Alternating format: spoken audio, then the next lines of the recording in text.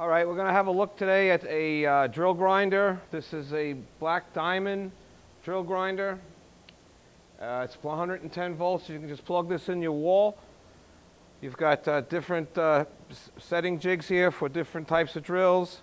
Uh, your tool holder here. I'm going to go ahead and turn it on for you. Mounted in the light up here is a nice magnifying glass so you could, as you're sharpening your stuff, you can watch it. Now this is a, this is a collet holder.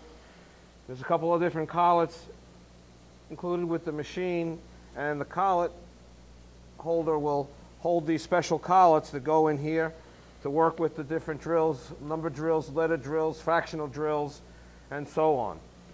So that's what you have here. This is the Black Diamond drill grinder. Very nice condition, a lot of accessories.